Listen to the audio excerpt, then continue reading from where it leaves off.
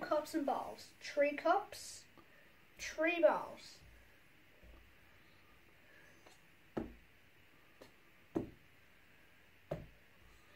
So we take the first ball and it goes on the middle cup.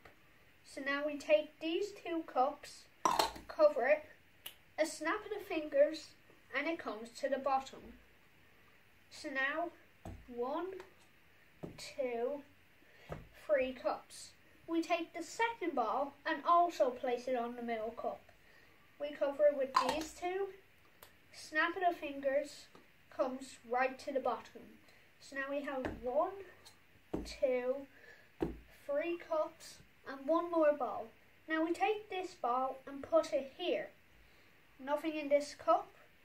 We take it, snap our fingers and it comes to the